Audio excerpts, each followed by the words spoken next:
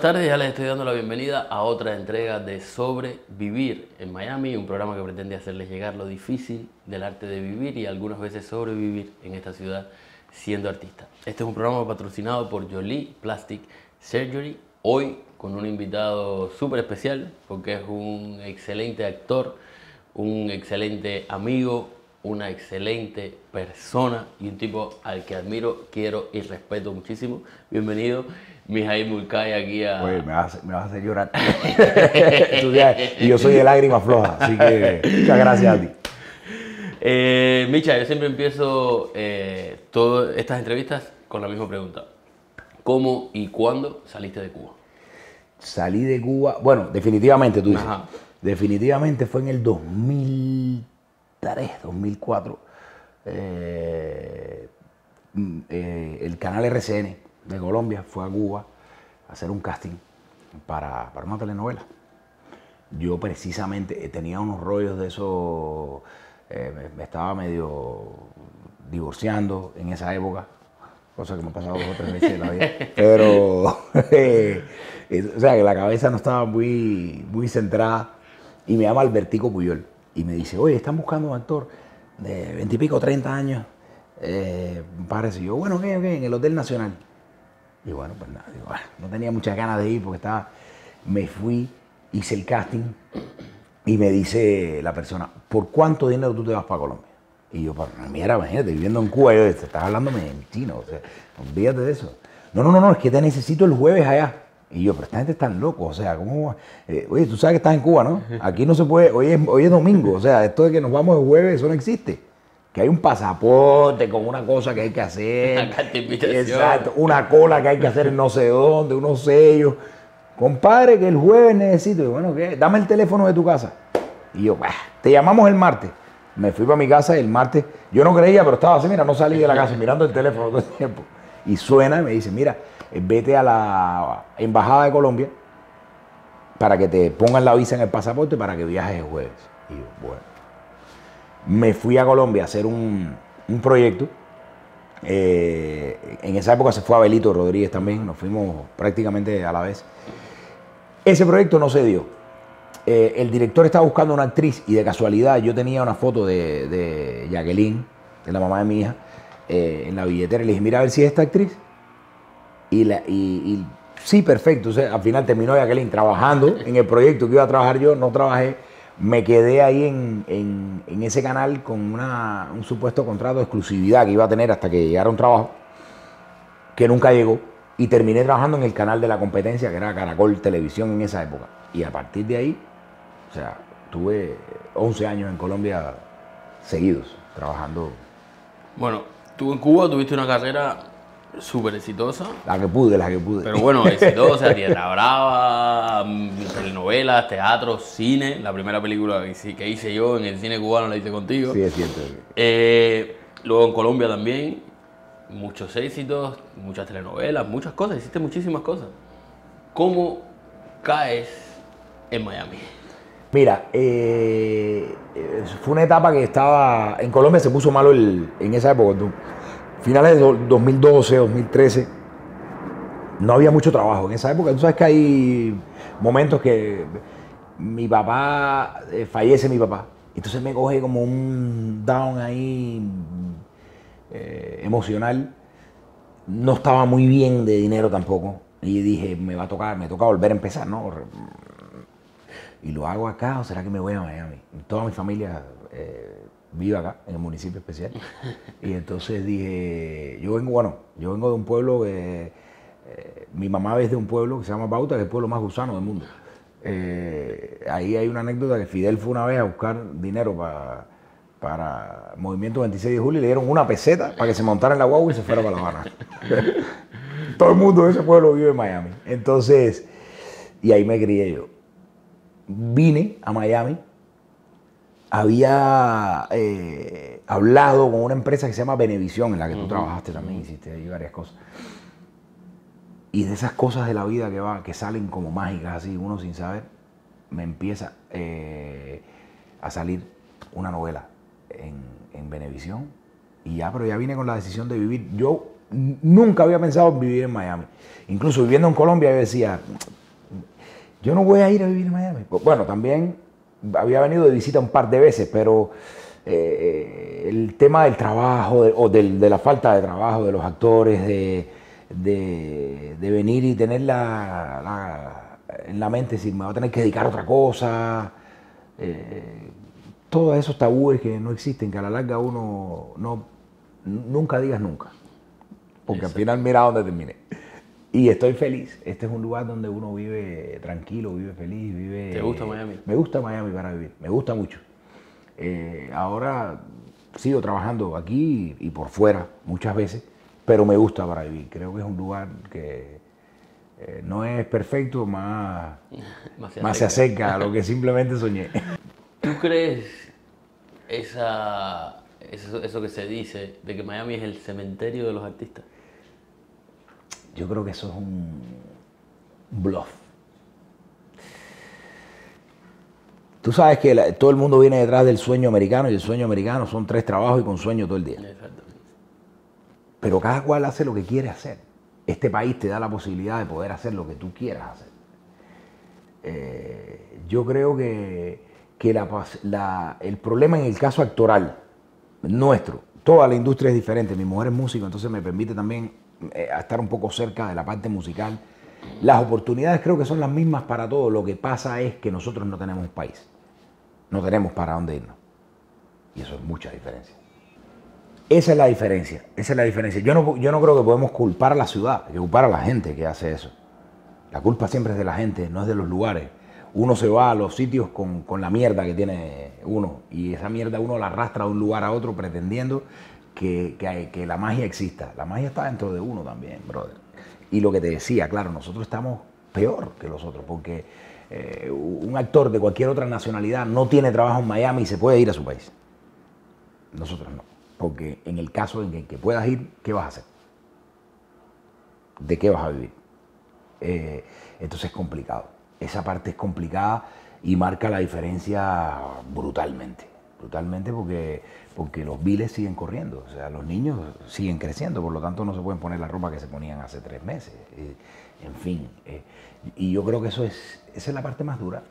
Unido a, que esto es una ciudad que ha crecido mucho y, artísticamente también, pero inicialmente es un balneario, es un lugar de descanso. Eh, no, podemos culpar al sitio, porque entonces eh, le estamos pidiendo peras al olmo. Y yo creo, pero creo que sí que mereceríamos tener eh, más oportunidades. Yo creo que los cubanos, igual que gente de, de, otros lugares, hay mucha gente talentosa eh, creo que, a veces no, no tenemos el apoyo suficiente de nuestra propia gente, ¿no? Sobre todo de nuestra propia gente. De nuestra propia gente, que es sin chauvinismo, lo digo. Pero creo que, que hay que apoyar, o sea, tú eres de tu casa, de tu esposa, de tus hijas, primero. Además, es que, es que Cualquier artista mexicano, colombiano, tiene su público que lo apoya incondicionalmente, inclusive les guste o no, hay gente que apoya a gente que en su país no le gustaba, pero por estar fuera de su país... Claro, eh. Se, se, se, se, identifican. La añoranza que le dan, mira fulano de tal que estaba, pero eh, y, y, comienzas a amar a ese artista porque vive precisamente fuera del lugar de donde viene, pero es, pero es tu gente. Exactamente. Yo creo que el rollo, pero ahí entra a jugar el rollo político siempre, que es eh, hay como una herida, con, obviamente, no sanada en, los cubanos, que no te permite del todo apreciar el que lleva muchos años. Dice, no, no, yo llevo 40 años aquí. no quiere de cierta manera saber nada y yo no tengo, hey, yo no tengo nada que ver con eso. Exactamente. Yo, la diferencia de usted y mía es que yo vine hace 10, usted vino hace 40, pero estamos por la misma causa. Entonces, y yo creo que eso es un daño ahí inconsciente y consciente que nos han hecho a generaciones y generaciones que no permite que podamos eh, volar y podernos decir, oye, qué bien, compadre, que porque cuesta, ¿no? Esa división que nos han creado y que, y que tienen que pasar 50 años más limpio para que se quite. Como decía, mi mamá siempre dice, no te preocupes, lo malo son los primeros 58 años. después, después uno se acostumbra, pero es difícil eso. Mijail, tú eres un actor que eres energía pura. Tú, pase lo que pase, siempre estás jodiendo, siempre estás riendo, siempre estás trabajando, siempre estás moviéndote. Yo no te he visto tranquilo y sentado. Creo que te he visto una vez y porque, y porque estaba bravo o porque estaba obligado. Eh, ¿De dónde saca Mijail esa energía para seguir adelante, pase lo que pase? Yo no sé, compadre. Yo eh, soy un tipo, una persona normal, obviamente, y, me deprimo y me decaigo y me. yo soy un tipo, en realidad, en el fondo, inseguro, ingenuo. Y de las, si tú me dijeras qué característica yo no quisiera perder, nunca es la ingenuidad. Y la capacidad de pensar de que todo puede ser posible, aunque no lo sea. Pero el día que yo pierda eso, brother, me acuesto a dormir y prefiero no despertarme porque esa es la razón de, de vivir. Yo soy un tipo que me ilusiono en la baldosa esta. Y en dos segundos ya yo estoy pensando lo que eso puede ser. Aunque no sea, al final, obviamente, porque la vida no es como tú la sueñas, sino como es pero me, cuesta quedarme quieto, me cuesta decir ya no más, ya no, va a haber otra cosa, me, reinvento todo el tiempo, me, eh, y creo en, el vaso medio lleno, no medio vacío, siempre. Yo creo que las cosas pasan por algo, que nada es casualidad. Creo que, que incluso las cosas malas de la vida y las malas noticias es depende de cómo se miren, porque uno no entiende lo malo en el momento que está pasando, lo entiendes tiempo después, cuando viene algo muy bueno y tú dices, claro, con lo que pasa es que cuando te toca comerte la mierda es muy difícil pensar en eso. Y yo me la he comido muchas veces. Yo me he comido la que me toca a mí y le he metido la cuchara en el plato de al lado. A mí, yo sido un come mierda plus. Pero, pero yo soy así, no puedo ser de otra manera. No puedo ser de otra manera, no, no sé vivir de otra manera. Cuando me puse a, buscar cosas tuyas para esta entrevista, vi, eh, revisando una entrevista que te hicieron, eh, si, no, si mal no recuerdo, en Diario Las Américas. Imagínate de qué tiempo es la entrevista, que te preguntaban planes futuros, y tú decías, bueno, estoy, estoy ensayando una obra de teatro escrita y dirigida por Alexis Valdés. Dios mío, o sea, que se llama Oficialmente Gay. Imagínate. De aquí, de esto, voy a sacar dos preguntas. Una, ¿esperabas el éxito de oficialmente gay? No, lo que fue. O sea, lo que me pasó. Yo hago un chiste en, el, en, un show de stand-up que tengo que siempre digo, eh, oficialmente gay, marcó un antes y un después en mi carrera, porque hace dos años que no la hago y la fama de gay me dura todavía. Entonces, eso es, fíjate. Eh, Alexis, yo estaba viviendo en Colombia y me manda la obra. Quiero hacer esto. Monstruo, monstruo, monstruo, así como habla él, tú sabes. Mete esto que te... Y la leo, pero no la leí, me pareció chévere, súper simpática, con esa cosa que te llega algo como cubano, que tú tienes costumbrista así. Pero igual todavía yo estaba allá. Llego a Miami y me dice, vamos a hacer la obra aquella que te mandé y la empezamos a ensayar. Bueno, tú formas parte de eso, siempre formaste parte. Tú creo que eres el único que ha hecho más de un personaje eh, en la misma obra. Eh, y todos sabíamos que podía funcionar mucho, pero lo que fue fue un fenómeno, o sigue siendo, un fenómeno brutal. Eso es una obra con una energía de, de ese tipo de la que tú hablabas, súper constante y súper... Yo llegué a hacer 210 funciones oficialmente gay. tengo una herida aquí en la frente por oficialmente gay. Estábamos en juntos una, En una función. Ah, eso fue en, Tampa, ¿no? En West Palm Beach. Eh, un accidente que tuve. Eh, en el medio, en el medio de la Me tocó salir. Me tocó sale y cuando entra sale todo lleno de sangre. Sí, pero ¿qué pasa? Sí, sí, y además siguió la función como si no, como si no pasara. Casi me, casi, me, casi me susurraba yo no puedo hacer, yo no puedo ver sangre, yo no puedo ver sangre. y todos decíamos, qué buen actor, qué buen actor. Qué buen actor, cuando, me, cuando me quité aquel trapo era polifemo, tenía la, frente así. Qué horror. Pero le agradezco mucho. Creo que, fue, creo que los actores hacemos trabajos chéveres con las buenas oportunidades. Con las buenas oportunidades, porque eh, que en eso también eh, son pocas. Uno no hace todos los personajes que quisiera hacer, obviamente, pero, pero oficialmente ese personaje que ahora lo haces tú es un gran personaje, te da la posibilidad de, como actor de, de votar una serie de cosas. No, no, yo no, lo sigues haciendo tú, si yo exactamente lo mismo que tú hacías. Ah, tú eres un gran actor. Tú eres un tipo muy talentoso, siempre te lo he dicho, y, y, lo, y lo, has demostrado no solo aquí en Cuba, sino también en... Y está bueno, eh, pues nos vamos a caer a besos aquí los dos, ya, con, con, echándonos flores en España y en todas partes. Voy para mi segunda pregunta de aquí, de esta, de esta afirmación. Ahora, ¿por qué dejaste de trabajar con Alexis?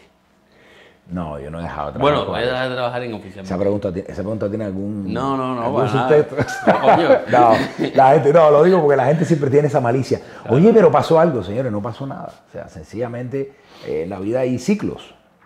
Yo tengo un hijo de 10 años, tengo dos hijos, Camila que tiene 20 años y Samuel que tiene 10. Yo voy de 10 en 10. Este, creo que ya me toca. ya ahora. te está tocando Sí, el otro. eh, me toca eh, el holguito ahora. Pero mi hijo vive en Colombia, el más chiquito. A mí se me dio la posibilidad de hacer una serie. Incluso hice lo- la serie de Celia Cruz, haciendo oficialmente gay. Viajaba los lunes y regresaba Los los jueves. durante cuatro meses. O sea, ya yo me subí al avión y el, el piloto me decía, Pipo, óyeme, pues, pues, nos tenemos que ir. Yo era el que repartía las galletitas en el avión. Y casi me muero. Buenísimo, porque fue una experiencia maravillosa, pero brutalmente desgastante. Eh, pero me salió un proyecto que está en Netflix que se llama eh, Sobreviviendo Escobar. Y era la posibilidad de irme a Colombia a hacer esa serie y de estar un tiempo largo con mi hijo más chiquito. Y como dice, eh, Coca-Cola mata café. Me fui a eso y he hecho 210 funciones. Me costó porque de verdad uno no sabe lo que eso significa hasta el momento en que te separas de, de esa historia porque era un equipo eh, humano, chévere. No voy a decir lo que siempre eh, se dice. Yo no soy una persona que dice nada por compromiso. Yo creo que las cosas en general fueron muy buenas. Creo que hicimos cosas muy buenas. Creo que, y, lo demuestra el resultado del trabajo. Tú lo dirás también que uno tiene sus diferencias. Esto es un, un trabajo de roce, brother, donde tú tienes un criterio y yo tengo otro. Y nunca nos vamos a poner de acuerdo. Nos pasa con nuestra pareja, con nuestros hijos. Pero no tuve ningún problema. Incluso eh, el propio Alexis después me propuso trabajar en otra hora, pero no pudimos por una cuestión de tiempo. E ahora me dijo que, que, que si quería doblar, que cuando él no pudiera, que no, y estamos ahí en, en esa situación. Yo soy un tipo inquieto, como tú dices, y a mí me cuesta estar mucho tiempo en el mismo sitio. Fue una temporada de dos años y llegó el momento de hacer otras cosas también. Y nada, eso es lo que pasó. Pero le agradezco mucho porque de verdad, esas horas, oficialmente gay, el peo, era como, como hacer una telenovela o algo así. La gente en la calle te conocía por el teatro. Y yo me acuerdo un día que salí del teatro así, cansado, y pasa un tipo en un carro por la 8 y me dice, Muscay. Y yo, dime, madre, dice, maricón. Y yo, eh, pero sabes, yo mismo nada más vende. Porque la gente es brutal, tú sabes que ahí iba eh, un montón de... eh, tú te encuentras de todo. Miami es como... Es un zoológico fascinante porque tú tienes... Hay una señora, un día en una función, Carlos Cruz se ríe mucho de ese cuento. Y, la- y estamos saludando, todavía la hora no se ha acabado y la señora tiene un mojito en la mano así y se está tambaleando. Y me dice, oye, yo era amiga de tu padre. Yo era amiga de tu... Me alaba así por el brazo y le dije, sí, pero suéltame pues, y deja el mojito porque te vas a encontrar con él la semana que viene. Entonces era eh, muestras de cariño de todo tipo Sí y, opiniones, porque eh, vinimos a, impusimos, siguen imponiendo ahí eh, un teatro en Miami a un público que, muchas veces no está acostumbrado a, a, a, la cosa teatral y la gente te grita cualquier cosa. Y la, se meten en la obra. Eh. No, no, no, no, no, no, no, no. Yo vi cosas ahí muy simpáticas. Pero también me, me, divertí mucho, me divertí mucho y fue una etapa que recuerdo con mucho cariño, de verdad. Vivimos el teatro, cosa que es casi imposible, no en Miami en, el mundo, entero. Entonces eso es, eso es mucho. De oficialmente ahí te fuiste a Colombia Sí. a hacer Sobreviviendo a Escobar y de Colombia vuelves a Miami a hacer eh, con, con la mega. ¿Cómo, cómo se llama? programa? Eh, esta noche sí. Esta vez sí. ¿Qué pasó con ese programa que además fue como el principio del fin, de este fin que, que, canal, viene claro. siendo el fin del canal? aquí Bueno, en bueno, no fue mi culpa. o No, sea, no, no, no, ya yo eso estoy estaba con- malo ya. de eso estoy completamente seguro. Eh, mira, yo me fui a hacer la serie cuando inicialmente me proponen, me proponen 12 capítulos de la serie. La serie eran 60. Y cuando llevaba un mes y medio grabando, el productor me dice, tú te puedes quedar, porque iban escribiendo, tú sabes, tú has trabajado allá, sabes cómo va funcionando eso. Digo, sí, sí, hasta febrero te puedes quedar. Y yo, pues, perfecto. Y de los 12 ya íbamos en 45 capítulos de la serie, porque el personaje fue, lo fueron convirtiendo un poco ahí en la parte antagónica de, de eso. Y como él me dijo hasta febrero, eh, Mega me hace la propuesta. Yo quería, tenía el sueño de hacer un show eh, tipo así, como estos shows que se hacen en los canales locales. Eh, sueño que ya cumplí y que me di cuenta que yo no sirvo para hacer eso. O sea, de verdad, yo soy, creo que yo soy un actor. Yo tengo que actuar. Eh, que en eso no quiere decir que uno no lo pueda hacer, lo hago, pero no creo que no soy tan bueno haciendo eso, sinceramente. No, yo creo que también, por lo menos en el caso específico de este programa, creo que también se hizo un invento Sí, raro. ahí te voy a, ahí vamos a llegar, claro. eh, eh, si lo vas a hacer, tiene que estar cortado a tu medida. Claro. Eh, eh, y esa era la idea. Yo incluso tenía cosas, hablamos una vez, eh, de ideas que quería hacer con unas miniseries y con unas cosas, todo más basado en la parte actoral. Esa posibilidad no se dio, yo regresé antes de tiempo, mm, eh, me perdí el final de la serie.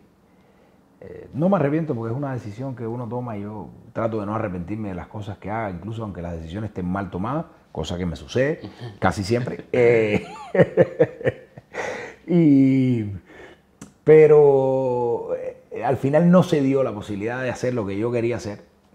Vamos a decir que porque ellos no confiaban, porque yo no tenía una experiencia en ese tipo de show. Yo entiendo también, nadie tiene que confiar en algo que no esté convencido.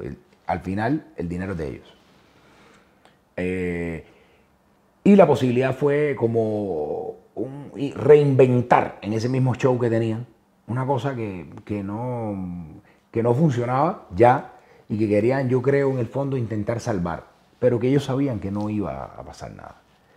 Y hicimos lo que pudimos, yo creo que hice lo mejor que pude eh, dentro de esas posibilidades, pero ya te digo, ese es un sueño que, que ya, algo que hice y que no creo que volvería a hacer. No por nada, ni por un mal recuerdo, ni por nada, sino porque sinceramente creo que, que ese trabajo no me sale tan bien como los personajes que hago.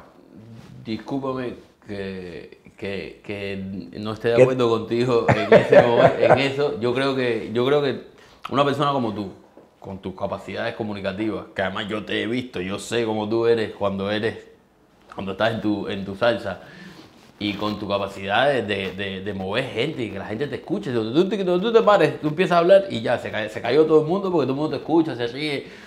Tienes todas las posibilidades para hacer ese tipo de trabajo. Lo que creo es que se equivocaron en, en no hacerte un formato a tu medida. Y, quitar lo que no funcionaba y coger y decir, ok, esto se va, entra Mijail y se hace este, este programa para él. Y creo que es una cosa que se hace mucho o que no se hace nunca en esta ciudad. No, y, exacto, se trabaja con las cosas. eh, Yo, yo tengo, siempre digo una cosa, Robert, las cosas hay dos maneras de hacerlas. Hacerlas bien o hacerlas mal, y te demoras el mismo tiempo.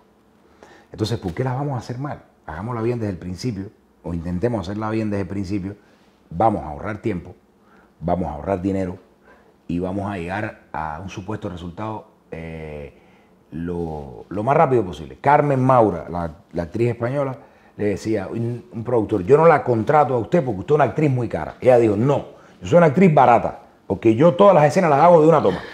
Por lo tanto, yo le ahorro tiempo a la producción. Y eso es verdad. Claro.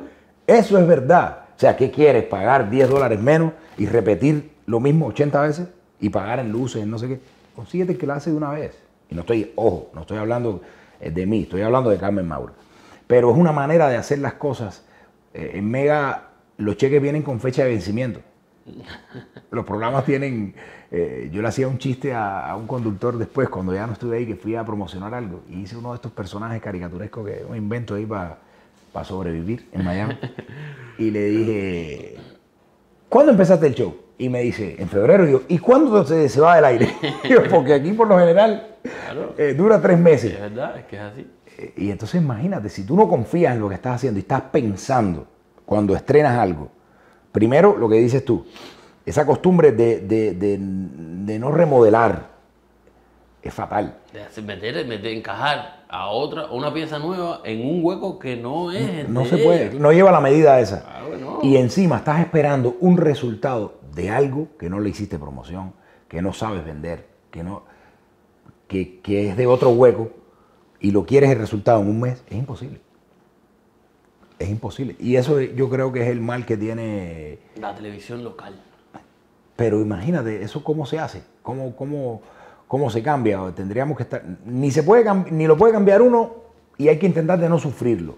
No, no, no, no, no, no, no, nuestra tarea no es, eh, nuestra labor no es, pero, pero si me preguntas cómo se cambia, se cambia quitando a toda esa cantidad de gente que hay arriba que son inútiles, que no están haciendo lo que tienen que hacer, que están cobrando como si estuvieran haciendo maravillas y, no están haciendo nada, y poniendo gente que inclusive probablemente cobren menos, tengan más deseos. Yo creo que hay un déficit de creatividad y dinero hay para hacerlo. En este lugar. Si en algún lugar hay dinero para hacer televisión, es aquí. Pero no hay creativos. O los hay. Pero no están en esos lugares. Claro, porque los tienen, ahí los tienen haciendo Uber. Entonces hay que. Tú tienes que hacer un equipo. Eh, alguien decía que eh, la clave del éxito está en rodearte de personas que sean mejores que uno. Claro. Cuando uno hace eso, eh, no- no hay posibilidades o las posibilidades de equivocarte son muy pocas. O sea, yo tengo que buscar a alguien que escriba la idea que yo tengo, pero que la escriba mejor que yo. Para que a la vez el que me dirija, que yo tengo una idea más o menos de cómo hacerlo, me dirija mejor de lo que yo puedo dirigir. Por lo tanto, zapatero a sus zapatos y todo va a fluir así y va a congeniar. Pero eso es muy difícil porque, porque hay una falsa idea aquí en Miami de que, no, no, pero armémoslo ya, dale, armé- pero un segundito, vamos a cuadrar las cosas. No, no, pero el público no está eh, preparado para eso. Aquí la gente, ¿quién dijo eso? Eh, aquí se subestima mucho al público. ¿Quién dijo que el público no está preparado para eso? ¿Tú eres superior? Tú como artista eres superior, o sea, los chistes tuyos son superiores a, a lo que pueda entender la gente. Pues si, si eres tan superior y nadie te va a entender, te vas a morir de hambre. Entonces eso es una anormalidad. Yo creo que lo primero que hay que hacer es, de- es- es ponerse en los zapatos de la gente. Que me- yo me hubiera gustado hacer un show en que a mí me hubiera gustado ver en mi casa. En chancletas, así frente al televisor, con una lata de galletas y un poco de mayonesa Claro. sin pararme. A lo mejor no soy capaz de, de hacerlo, que eso es otra cosa. Pero hay gente para hacer eso. Hay mucha gente talentosa aquí, mucha gente talentosa. Yo soñaba con hacer un show donde pudiera hacer una serie costumbrista con actores, con tu mamá, contigo, con Albertico, y hablé con todos, por capítulos, con actores, que fueran muy simpáticas, la situación, y que fuera con actores. Ese era mi sueño dentro de esa, dentro de esa historia. Pero al final, nada, todo se va quedando en el camino porque no, no, no, no, no. No, no, hablemos hoy de, de política, pero si el programa anterior acaba de hablar de política y el que viene después habla de política, también vamos a hablar. Sí, pero a ellos les da números, sí, pero ellos hablan de política, mijo. Claro. O sea, Claro, ellos, hacen un análisis de política, son programas de política. Pero imagínense usted, o sea, si Oscar hace, que es un tipo genial, hace un análisis de, del conflicto en Venezuela, y yo, que soy un come mierda, un neófito en la política, vengo a hablar de Venezuela, atrás la gente va a decir, pero este, ¿qué hace hablando de eso? No es un problema de que a uno no le interesa, obvio que me interesa, soy un ser humano y no quisiera que pasaran las cosas y tengo un criterio y una opinión al respecto, pero no soy un especialista, como para dirigirme al público de esa manera. Ah, man, en última instancia estás haciendo un programa de entretenimiento. No, creo que, que ahí las personas que dirigen el canal son unos oportunistas, Claro. que quieren eh, de, de lo que esté de moda, hablemos y eso no está chévere, eso no está chévere. El- vuelvo y te repito, zapatero a su zapato, haz tú lo que sabes hacer, tú lo que sabes hacer y vamos a unir todo eso y saldrá algo maravilloso, seguramente. Bueno, tú además de ser un excelente eh, actor, eres un excelente imitador.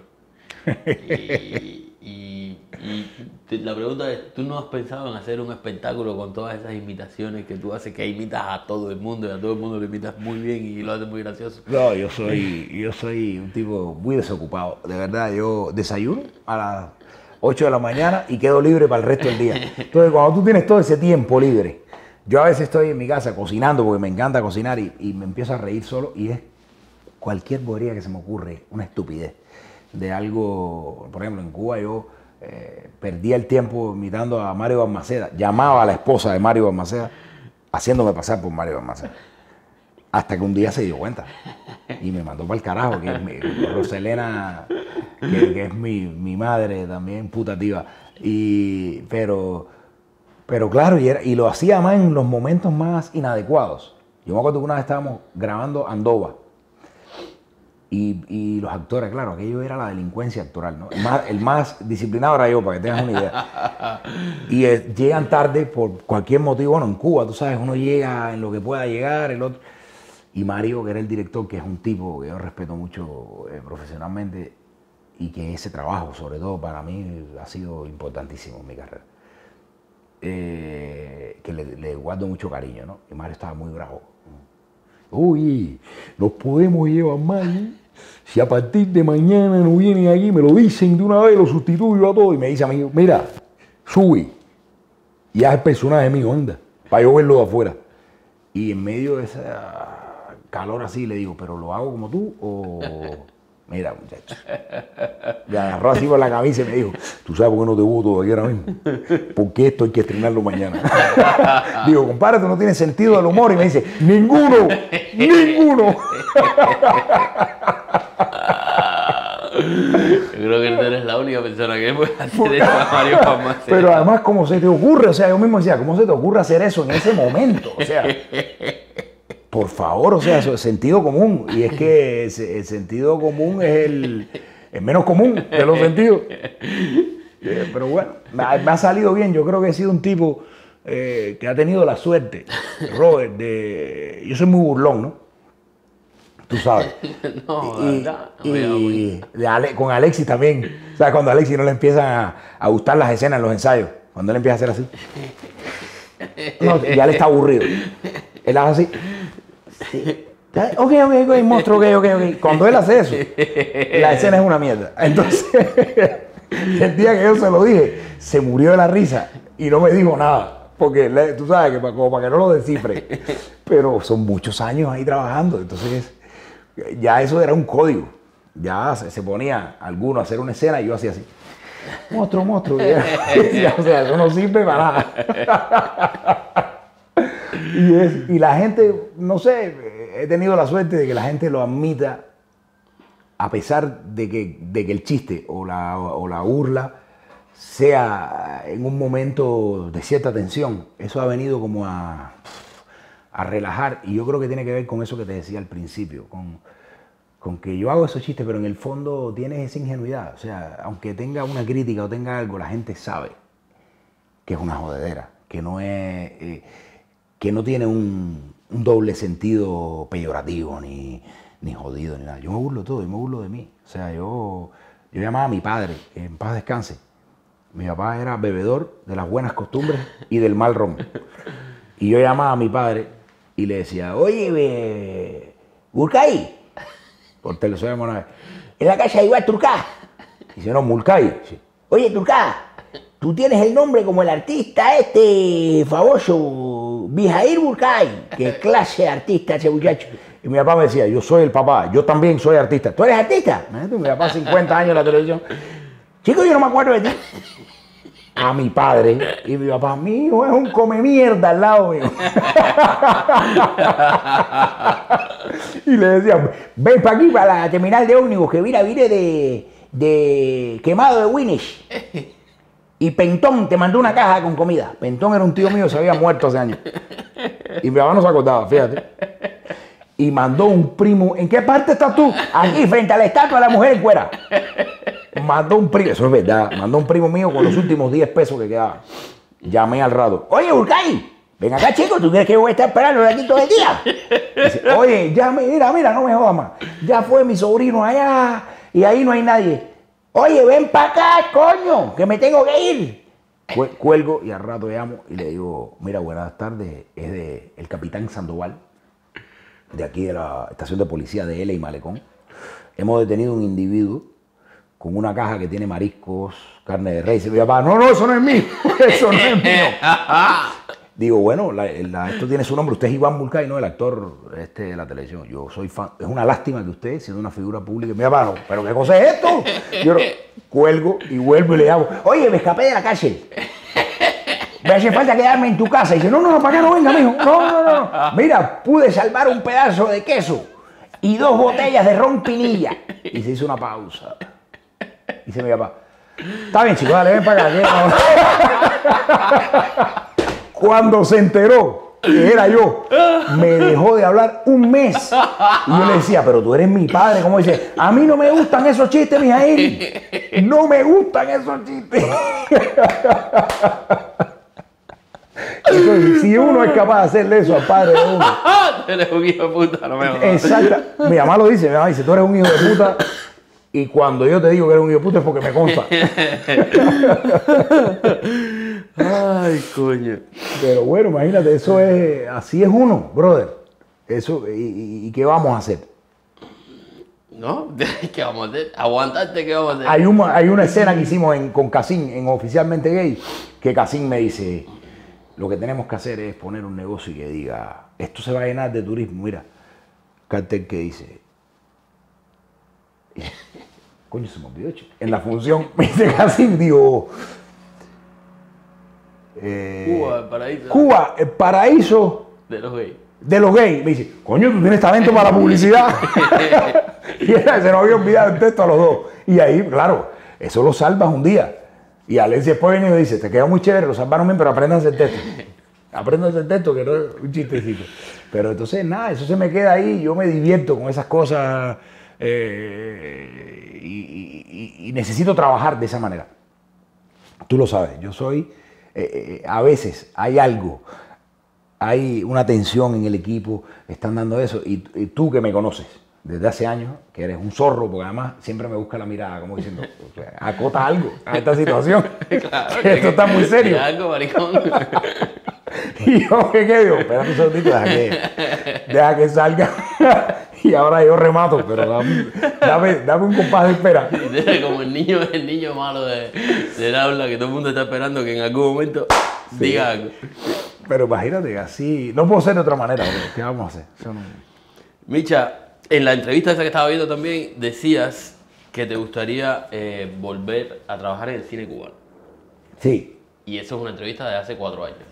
¿Lograste saldar esa deuda? No, no, creo que se va a quedar ahí. Ojalá que no, compadre. Cuando, pues, a ver, cuando me refiero al cine cubano, me gustaría trabajar con. No tiene nada que ver, no lo digo desde el punto de vista oficialista, nada. El cine es el cine, no tiene nada que ver con, con nada. Eh, yo hice cosas. Tuve la posibilidad de hacer mucha, mucho cine en Cuba. Y tengo una espina, esto nunca lo he dicho creo que fue un momento de mi vida con unas oportunidades buenas en el que yo estaba muy joven, eh, tenía mucho éxito para lo que se puede tener en un país como Cuba, eh, con la juventud que tenía. Eh, me hubiera gustado tener esa oportunidad con, con la tranquilidad que tengo ahora, hubiera hecho las cosas mejor, yo creo. A lo mejor no hubiera pasado nada, pero tengo como una espina ahí atravesada de, de resarcir eso. Me gustaría, el cine tiene una magia que es, mm, eh, la pude hacer después en Colombia también, pero me gustaría trabajar con, con, con Darana, por ejemplo, el de conducta. Sí, sí, coño. Con Darana, Darana me quedé yo con ganas de trabajar también. Bueno, pero no, no nos quedamos con ganas, porque no se ha muerto. O sea, No, no, no, claro. en me quedé algún con ganas de momento. trabajar en un momento. Y me gustaría, sí, compadre. Es normal, yo creo. Uno siempre, uno ve los trabajos de atrás y uno dice, ah, esto no lo hubiera hecho así, esto. Pero yo creo que ahí es una manera de reconciliarse uno ahí con uno mismo, ¿no? Tuve eh, varias oportunidades, pero eran parecidas también. Tampoco me voy a llevar tan recio. Creo que un momento que, me- que nos tocó, a ti, bueno, tú eres más joven, te tocó un poco después, pero en el momento que me tocó a mí la oportunidad del cine cubano, casi todas las películas que se hacían eran parecidas, por lo tanto los personajes eran eh, de cierta manera parecidos, a pesar de que tuve oportunidades buenas. Entre Ciclones es una película que todavía la gente te ve por la calle y te habla eh, de eso, y que tuvo un éxito de taquilla, eso muy, chévere. Pero me hubiera gustado eh, hacer más cosas distintas, hacer otros personajes, y siempre he tenido ahí como ese, esa inquietud. Ojalá, ojalá pueda lograrlo. Estos tiempos estás haciendo, has hecho de todo, stand-up, eh, radio, producción musical. Cuéntame, cuéntame, cuéntame sobre esa, esa, etapa. Sí, la radio estuvo unos meses en Radio Caracol, que es la 1260M de aquí de Miami. Eh, eso eh, ya no, pero tenía mucho, mucho que ver. inicialmente era colombiano. De cierta manera yo me compenetraba bien con eso porque como viví tantos años en Colombia, llegó un momento en Colombia que mucha gente pensó que yo era de allá. Lo cual para mí es un elogio impresionante porque yo, al año de estar ahí, yo dije, aquí hay dos maneras de trabajar. Una, que, que yo espere a que salga un personaje cubano o medio costeño, eso, que es uno cada vez, o que yo hable como venga el cheque. Y, me, y yo, a mí me gustan esos retos, me fui metiendo con eso y me tocó hacer personajes. Colombia es un, creo que es de los países que más eh, maneras distintas de hablar tiene. Cada región habla de una manera distinta, es una cultura distinta. En la costa, en Cali, en Medellín, en Bogotá. Y me tocó hacer personajes de distintas zonas y, nunca me faltó trabajo. Y le agradezco mucho eh, a ese país eso. Y agradezco que la gente piense que soy de Barranquilla, de un lugar de eso, porque quiere decir entonces que no me fue tan mal. Y en Caracol, pues era un programa que se llamaba La Hora del Regreso. Y estuvimos tres meses. Eh, que, fue un trabajo chévere, yo nunca había hecho radio así.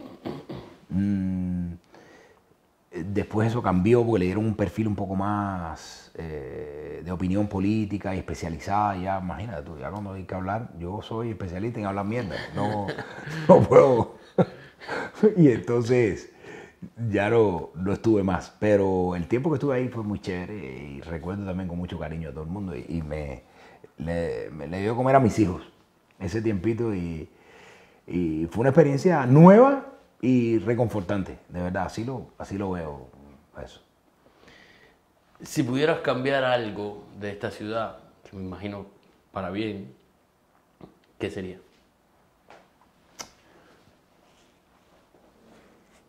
Si pudiera cambiar algo de esta ciudad, ¿qué sería? Pondría la playa aquí, ahí en el Sagüe. Para no tener que ir hasta allá, porque, oye, eh, lo, de, lo de los toles ya es una cosa ya eh, brutal. ¿Tú te imaginas ahí que uno salga del Teatro Trail y sale en la arena? Oye. no, no, te sería ideal. Imagínate tú, brother. O sea, ya, eh, ya es lo... No, yo creo que los lugares son... Son como son. Yo creo que como te dije al inicio, yo, yo no renegaba, pero siempre dije, no, no, yo no voy a ir a, vivir a Miami. Y uno no conoce. Y la gente te dice en otros lugares, no, pero en Miami uno, cuidado, porque uno se pierde, uno, se pierde en todos lados, no se pierde en la sala de su casa. Si la cabeza no está donde tiene que estar. En la sala de tu casa te pierdes. Y te vuelves un come mierda en la sala de tu casa. No hace falta ir a ningún lugar. Yo no creo en eso de que si, cuidado cuando tengas dinero, que te vuelves un comedor. Ahora me tuviera dinero. Yo tengo clarísimo lo que no quiero hacer. Lo que quiero hacer no sé, pero lo que no quiero hacer, lo que no quiero volver a hacer, lo tengo muy claro en la vida. Y, y yo soy un tipo conforme. Yo creo que, que esta ciudad es así.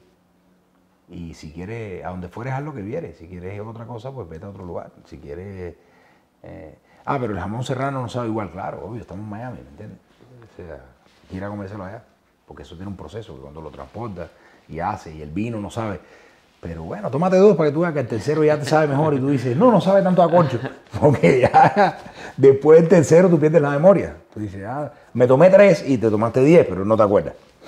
Yo no cambiaría eh, nada. Si, si pudiera pedir algo, pediría que hubiese más opciones de trabajo para, los actores, compadre, para poder vivir de lo que sabemos hacer dignamente. con tranquilidad, sin tener que despertarte y decir, me faltan 400 dólares para la renta. No hablo, no estoy hablando de la cantidad de dinero, estoy hablando de que nuestro trabajo sea un trabajo ni superior al de nadie, ni inferior. Un trabajo como el del Señor que va a la oficina. El nuestro, la oficina de nosotros es el estudio. Que tengamos un trabajo donde podamos ir a la, a la oficina nuestra y donde tú sabes que cada 15 días te va a entrar el dinero que sea, el que tú hayas pactado, pero con esa seguridad. Eso es calidad de vida. Y eso es la parte que ojalá se pueda eh, solucionar y que creo que, que nos atañe, sobre todo a los actores cubanos, es complicado. Porque nos vuelve mierda, y nos vuelve mierda sobre todo entre nosotros mismos, ¿no? Porque cuando tiene éxito este o el otro, pues, pues a ver, la envidia sana es chévere. Yo también quisiera hacer, eh, ¿cómo se llamaba la serie aquella que tú hacías maravillosa? Aquí no hay quien viva. Aquí no hay quien viva, claro. Yo hubiera querido ser yo. Come mierda no soy. Pero te tocó a ti, me parece maravilloso. Y me hubiera gustado hacer Habana Blues. Pero a mí me tocó hacer Entre Ciclones. Y en el momento que yo hacía el personaje mío Entre Ciclones, a ti te hubiera gustado hacer el mío. Pero es que es ley de vida, no tiene... Pero tú hiciste eso y eso te permitió hacer el otro, que te lanzó contra el cielo en otro lugar. Y que te permitió estar donde estás hoy y a tu mamá y al otro y al otro. Entonces yo creo que la falta de esas oportunidades es lo que genera todo eso, las bajas pasiones esas y, y es lo único, es lo único que yo, que tengamos oportunidad para trabajar, bro, y con una consistencia que nos permita vivir dignamente. Nada más, yo no quiero ser millonario. Yo ya soy millonario. Y no lo digo por mierda, yo soy millonario. Yo vivo con la mujer que quiero, esa mujer que yo quiero me quiere a mí, da la vida por mí. Tengo unos hijos fuera de serie. Eh, tengo una hija que es mejor actriz que yo. Mucho mejor. Ya. Te lo puedo asegurar. Mucho mejor. Tengo un hijo que me dice, ese celular no tiene problema, lo que pasa es que tú no sabes manejar eso. Y es cierto. Entonces, si esa no es la felicidad, brother, está muy cerquita. Yo lo que necesito es tener con qué pagar mi casa eh, sin tener que desvelarme en la noche. Pero millonario ya yo soy. Ya yo soy. Yo no quiero ser millonario de dinero porque tengo que pagar más taxi, tengo que devolver más dinero yo no estoy para esa locura. Yo no la matemática nunca me ha ido bien. Yo soy de los tipos que, es el deudor amnésico. Yo llego de los taxis y me dijo, tienes que pagar tanto. Yo, yo gané todo ese dinero este año. ¿Y dónde está eso? ¿Me entiendes? Ese soy yo. Entonces yo, sinceramente, lo que quiero es vivir tranquilo y trabajar y vivir de lo que me gusta hacer, de lo que yo sé hacer. No mejor que nadie, pero sí como solo yo lo sé hacer. Porque cada cual tenemos la manera de hacer las cosas como las sabemos hacer. Y, lo único que yo le pido a Dios, a los santos, a Orula, a Olofi, al Panteón Divino, es que me- todos los días de la vida, salud, porque uno nunca pide salud, yo tampoco la pedía, hasta el día que te enfermas. Y sabiduría, brother. Porque la sabiduría encierra todo, para poder saber que sí, que no, y vivir de lo que, de lo que sé hacer. A lo mejor es un sueño, pero el día, como empecé la entrevista, que, que pierda eso, prefiero acostarme a dormir y no levantarme más.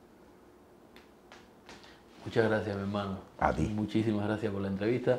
Tú sabes que te quiero, que te respeto, te admiro y que estoy loco por volver a trabajar contigo. así Lo que- haremos muchas veces, muchas veces, aunque hagamos en el teatro como el cuento aquel en Cuba, que mi padre tenía que salir una función y él era como el maestro de ceremonia y decía, respetable público, y el, y el tipo le dijo, no, no, dime Oscar, dime Oscar, no te preocupes, uno solo, no importa.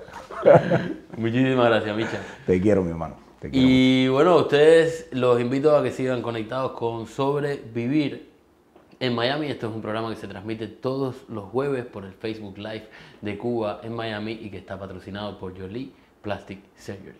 Muchísimas gracias y muchísimas gracias. gracias. a